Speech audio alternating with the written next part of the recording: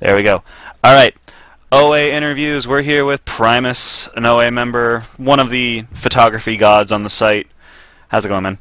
Good. How are you? Doing good. Doing good. Uh, so, what was the last convention you went to? Last convention I went to, Dragon Con in Atlanta. It's a good last convention, actually. That's a freaking awesome last convention. Alrighty. S- So, um, well, you're one of the photographers we have on the site. So, let me just start out asking, uh, what got you started in shooting cosplayers just on a, in a convention? Cosplayers in a convention, um, mostly just because, uh, you know, I, I go to conventions and sometimes I'd find myself bored with uh, what to, you know, what I'm doing, just hanging out in halls and stuff. And uh, I thought, you know, why not pick up photography? I've got a lot of friends there in photography, and they take pictures of cosplayers and stuff in the halls, and it seems to give them something to do. And they upload them, and everyone's like, "Oh my god, it's so cool!" You know, all these pictures are so nice. Thank you very much. And I was like, "That's something I could do." So um, I figured I'd purchase a camera and uh, pick up a new hobby.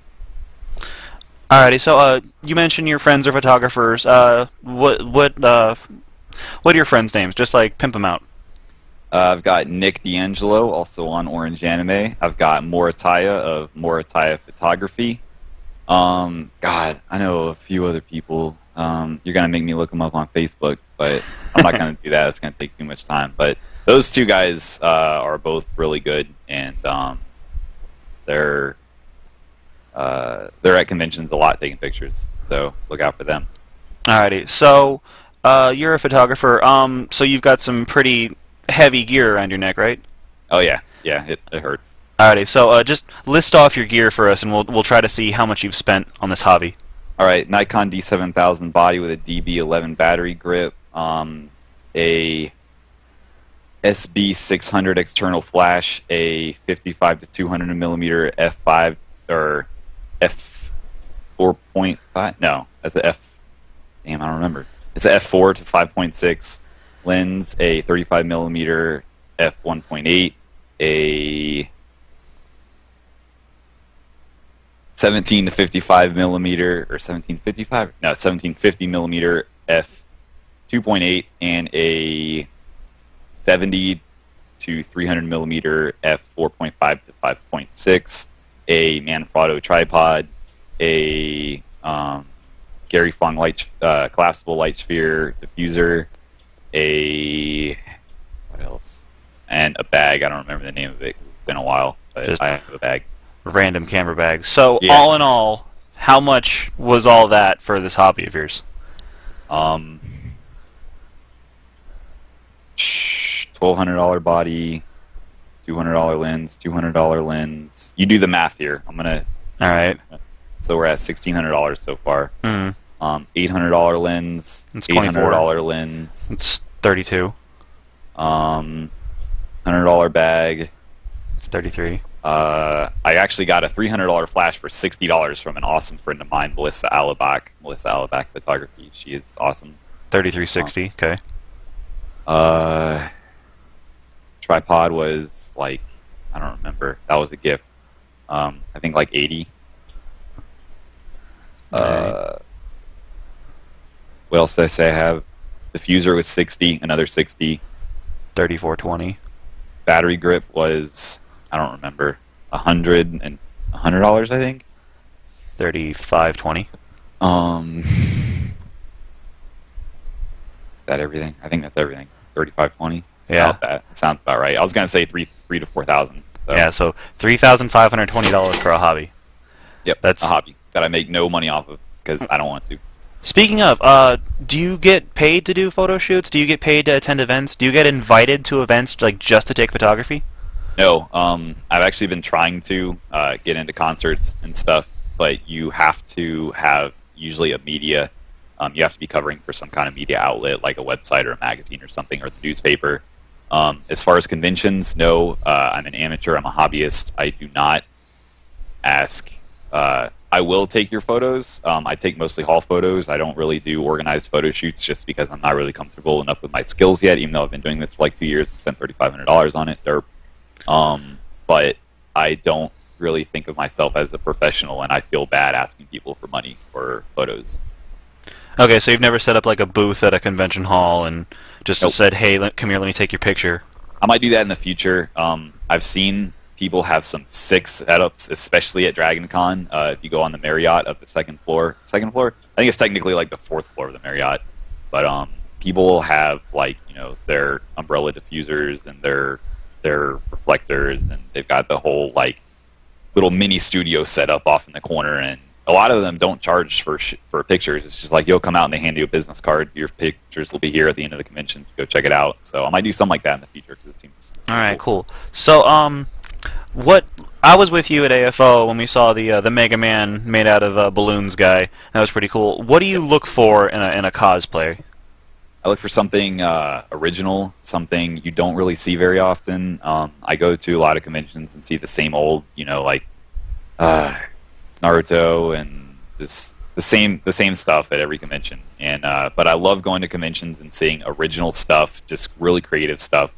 Uh, there was at Dragon Con last year. There was a the, just the one that always pops into my mind. Dragon Con last year. There was a uh, Bernie from Weekend at Bernie's, and he was walking around doing the little like voodoo zombie walk thing, and that's just something you never see at a convention. To me, that's awesome that people like.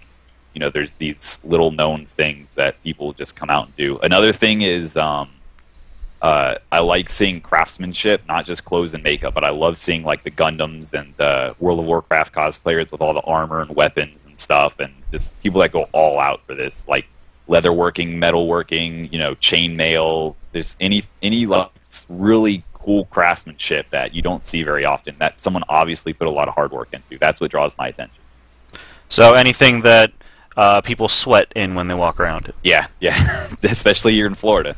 Yeah, no, wearing a Gundam in Florida is not Even a box Gundam. box Gundam. All right, so kind of last question. Any advice you want to give to up and coming photographers besides the obvious, like don't dive right into the the latest Canon body line or Yeah, um, it's really all about the lens. Um, don't spend you know fifteen hundred, two thousand dollars on a camera body just because you know it's you know the new thing. Um, you can go out and buy a you know a six or seven hundred dollar entry level D fifty one hundred or uh, Canon Rebel T series and take just as good photos as someone with that you know with my camera with my D seven thousand.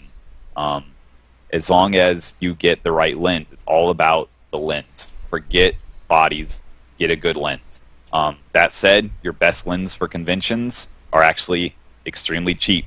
Those would be the uh, my favorites are the uh, uh, 35 millimeter and the 50 millimeter f 1.8. They're very wide aperture. They let in. They're great for low light indoor photography, and you're in convention centers, hotels, whatever. You don't need a flash, um, so you get really good natural lighting on your subject.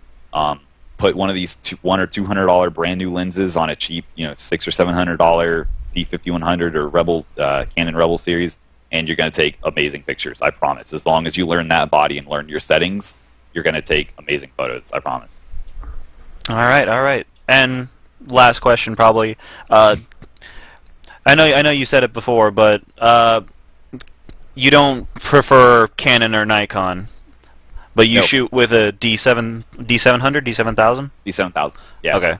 Um, I shoot a Nikon D7000. Uh, that's the only reason I shoot that camera is because it was the best camera that had the features I needed at the time. If it was a Canon body, I would have bought it from Canon. If it was Pentax, I would have bought it from Pentax. Doesn't matter what kind of body you're looking for. Um, especially Nikon and Canon, they make exactly the same bodies. The only thing that matters on these cameras is the settings, is um, like navigating through the menu and the dials and stuff. Uh, my best, I, my best advice for choosing Canon or Nikon, if you see two of the exact same bodies, the exact same specifications that you can't decide, go to Best Buy, pick one up, try the settings, try to navigate through the menu, pick the other one up, navigate through the settings, navigate through the menu, and just whichever one feels better in your hand, that's the camera for you. It it does not matter. Don't listen to fanboys that say Canon's better. Don't listen to fanboys that say Nikon's better because it's all crap. Just pick what feels better in your hand. That's all that matters. Alrighty. Well, thank you, Primus. Uh, what's the next con you going to? I'm going to MegaCon in March. I'll be MegaCon. at MegaCon. Yeah, and Uh, Orange Anime's got a lot of stuff at MegaCon, so go check out Orange Anime stuff. Alrighty. Look for Primus in his monster beanie and his giant camera strap in his bag. Yep. He'll be there taking be your there. photos. Yep. All right. Thanks, man. Yep. Take care, man. See ya.